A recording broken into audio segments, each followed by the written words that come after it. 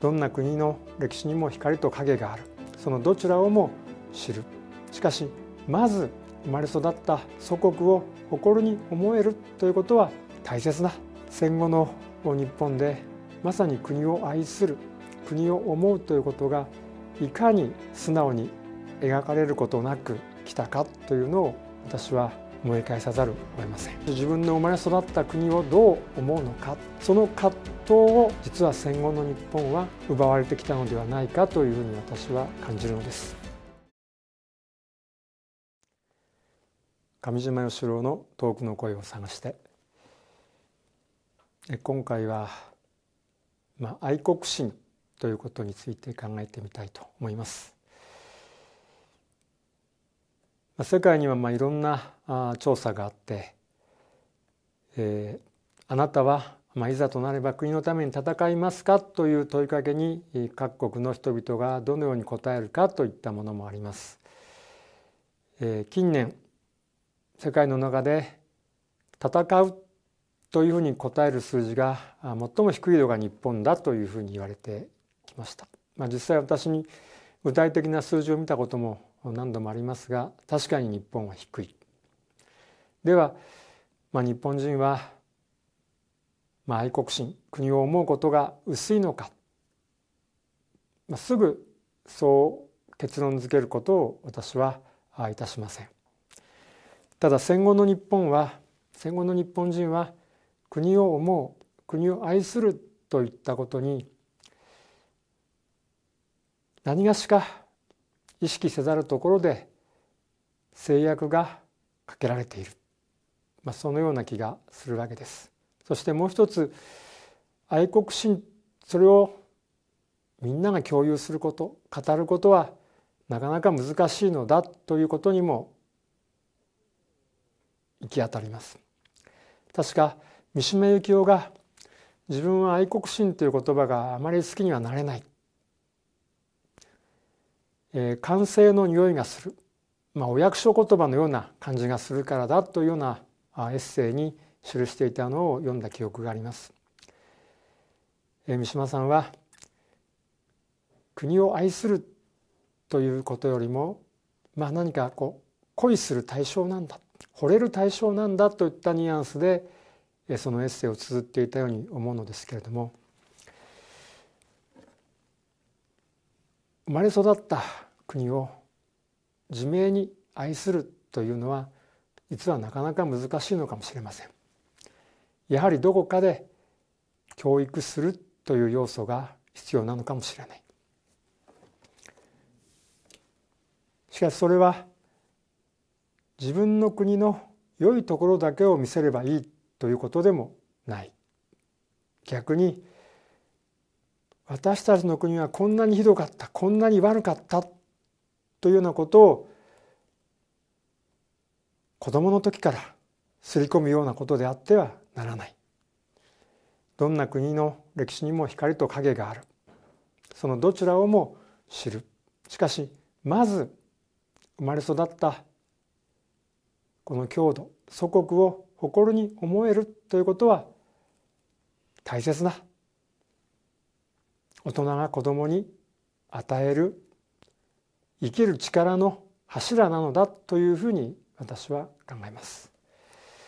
その生きる力の支えをまず確固として胸に抱いた後にじゃあ私たちの国は、まあ、どのような、まあ、失敗もしたのかといったことを学んでいく。そこでまあ、一つの国がずっと立っていくことの困難さ苦悩といったものを知る、まあ、そういう順番であるべきではないか。まあ、トップガンの話を先にしましたけれども、まあ、アメリカの中でもかなり素直にアメリカという国を愛しそのために命を懸けるといったことが描かれていました。日本にはではそのような物語映画が存在するか戦後の日本でまさに国を愛する国を思うということがいかに素直に描かれることなく来たかというのを私は思い返さざるを得ません。もちろんアメリカにもそうした複雑さはあります、まあ、私が好きな映画はの中で、えー、シルベスタ・スタローンが主演した「ランボー」このシリーズがあります、まあ、1作目は、まあ、ベトナム機関兵。ベトナムでは国のために戦い抜いた勇士が戦争が終わって帰国をしてみたらどのように扱われたか。その処遇に対して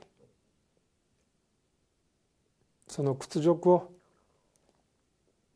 まあ晴らす、まあ、そのような形で、まあ、ジョン・ジェ・ランボーは一つの町をそれこそ壊滅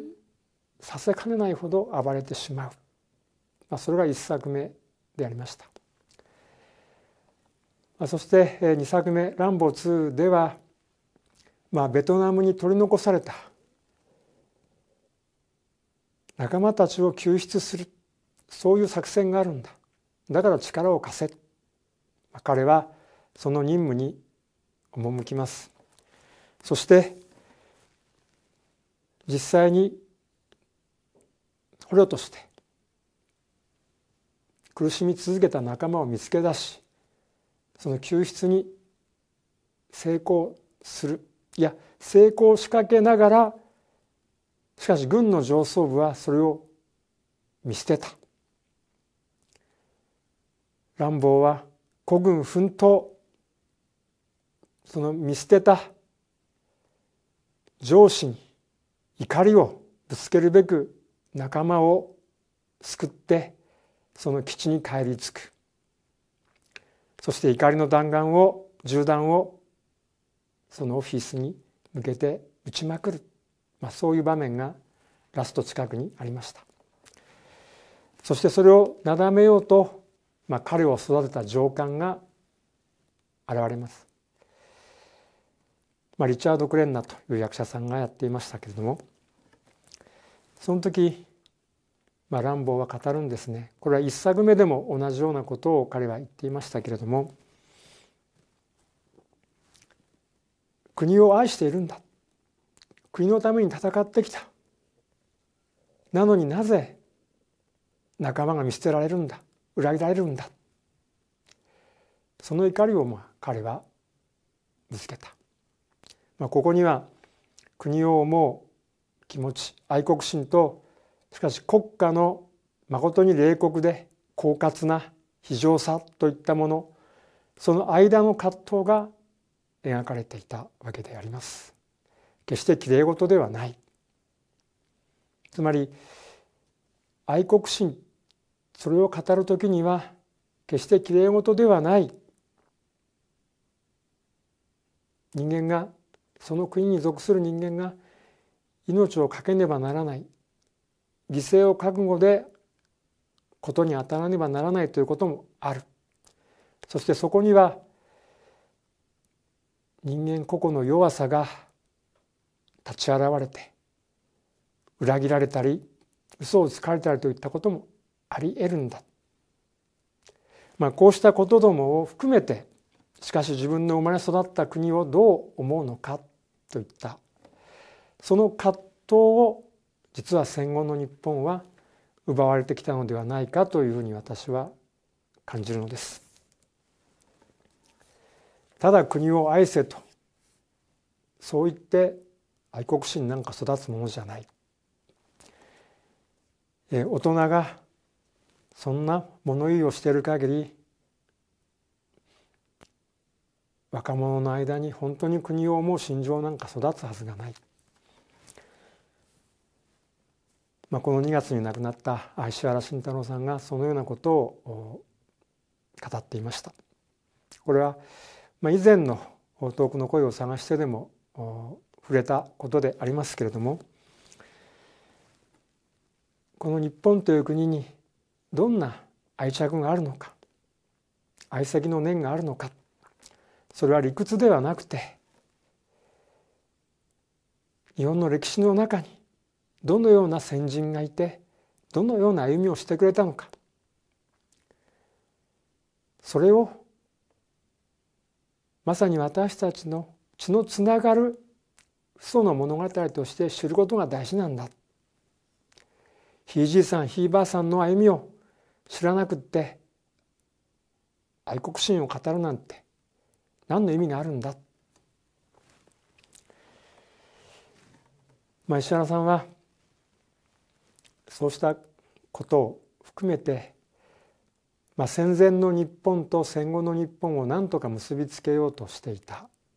しかし結びつけようとすればするほど戦後の価値観の中ではそれは新たな亀裂を生むことにもなる。結び合わせようつなげようとする努力が常に新たな亀裂を生むという、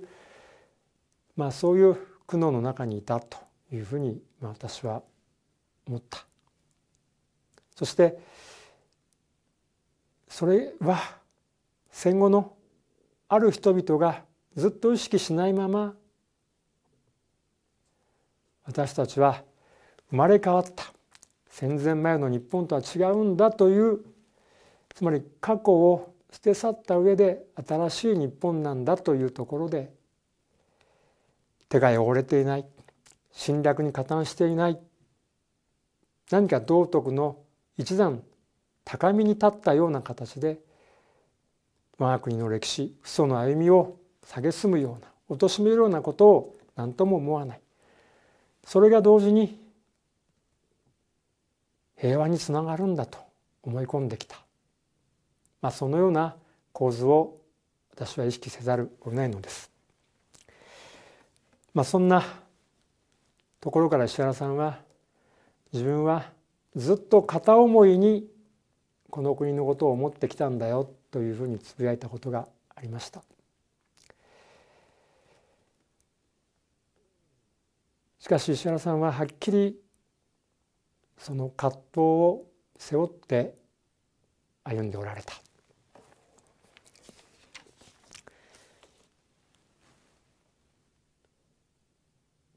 日本はひどかったというふうに語ってもいいんです。でもひどいことばかりではなかったはずです。そのどちらをも知る受け止めるそこに葛藤があるわけです。まあ、江藤淳が1946年憲法その拘束という本の中で、まあ、これは昭和55年に出た本ですけれどもこう語っています。およそ人と国が生き続けようとする時逃れることのできぬ条件である葛藤の自覚をもまた占領軍の検閲は丹念に脱ぎ去ろうとしたここから逆算される日本の戦後文学の特質が過去の否定または進歩的過去のみの再確認葛藤の無視または階級的葛藤のみの容認を主流とするものになっていったことはあまりにも当然と言わなければならない。まあ、これは何を語っているのかそれは先に映画「ランボー」について私は話しましたけれどもランボーは国を愛している。そのために命を懸けて戦った。しかしその国は仲間や自分を裏切ることもあった。その現実に怒りを爆発させた。しかし国を愛している。これこそが葛藤なのだというふうに思うのですね。そして日本は戦後少なくとも文学や芸術作品映画といったものを見る限りこの江藤淳が指摘したような葛藤がなく進歩的過去のみの再確認あるいは葛藤の無視階級的葛藤のみの容認。これはどういうことか。つまり戦後の平和主義にかなうその文脈における表現のみが大手を振って世間に受け入れられていくことになった。そうでない表現価値観といったものは反動だいつかまた来た道それに日本は向かうのかといった警戒感や既視感の中に押し込められて帰められることがない、まあ、そのような感じがすごくするわけです。堂々と自分はこの日本を愛してるんだということにそういうことにためらいがある。しかしこの場合愛しているということは全てを最終的には受け入れ背負っていかねばならない。けれどもその歩みに誤りがなかったというようなことでもないんだ。私はその葛藤といったものをしっかりと認識し受け止めていくこれこそがですね私たちが今本当に抱くべき愛国心といったものにつながりうる道筋なんだろうというふうに思うわけです。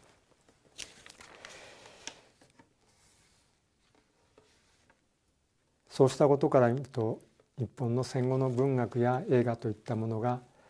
かなり薄っぺらいものだなというふうに私には思えてなりません。まあ、全てがそうだというわけではもちろんありませんけれどもしかし